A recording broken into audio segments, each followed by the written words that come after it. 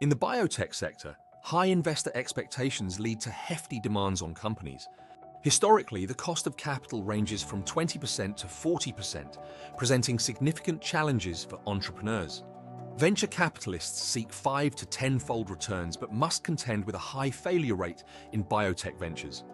Although average returns hover around 20%, achieving these figures is often daunting. Unlike traditional pharmaceutical companies, which benefit from a lower cost of capital, biotech firms grapple with unique scientific and financial risks that require innovative funding strategies. These strategies are crucial for mitigating financing risks, especially during economic downturns.